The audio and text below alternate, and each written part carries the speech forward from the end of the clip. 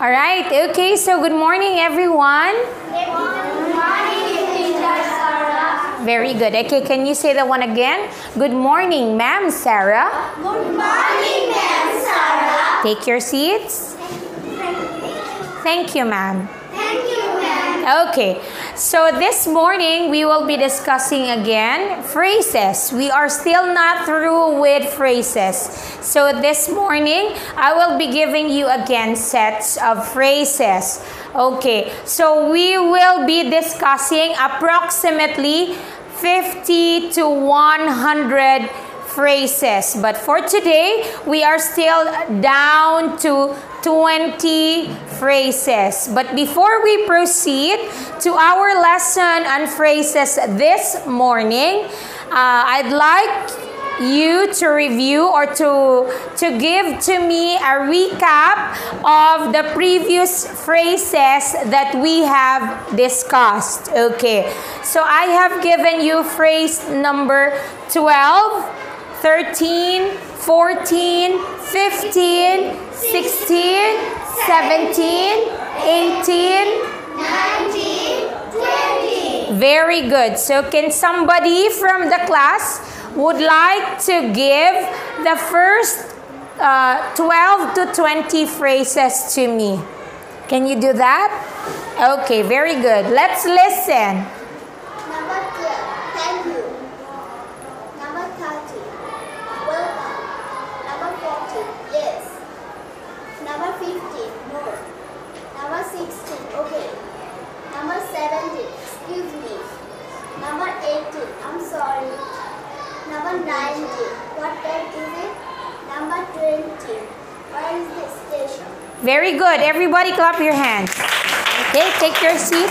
All right, so it's good that you were able to memorize, not just memorize, but familiarize those phrases because these phrases are very important. Okay, it is very important for us to learn phrases because it will lead us to discussion, and uh, sooner or later, you will become good speakers of the English language. Okay, so right now, let's start our lesson on phrases. Okay, I have here eyes on the television. Okay, number 21. Can, okay, may I use the restroom? May I use the restroom? Again, may I use the restroom? May I use the restroom? Very good. Okay. May I use the restroom is actually a soft, soft, and a polite expression that you would like to go to the toilet, that you would like to go to the washroom. Okay?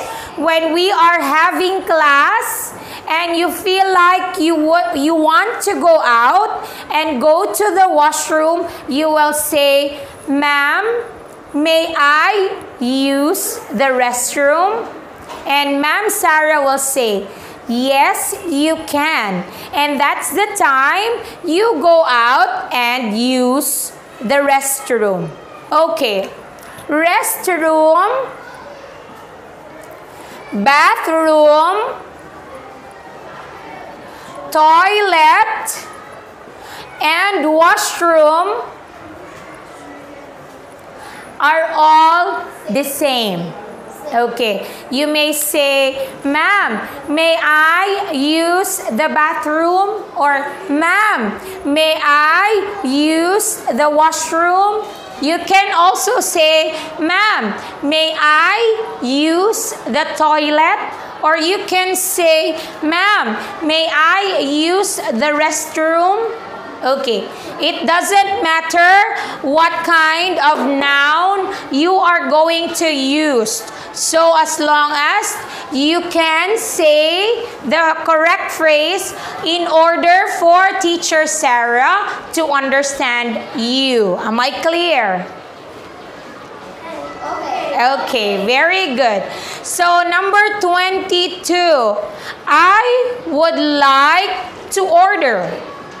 Okay, if you go to a restaurant and if you would like to eat something, if you would like to go to the mall and you would like to order something, you will say, May I, or I'd like, or I would like to order a pizza. Okay? I would like to order Pizza. pizza. I would like to order Pizza. pizza. I would like to order burger. Okay. I would like to order chicken. Chicken. Okay. So that is how you say it. Can you say it? I would like to order. Pizza. Okay. Again, again, you say, I would like to order. I would like to order. Again, again. I would like to order. Again. I would like to order. Very good. Okay. So, phrase number 23. Can I get the check, please? Can I get check, please? Okay. When you say, Can I get the check, please? I get check, please. When you say that one, it means that you would like to pay.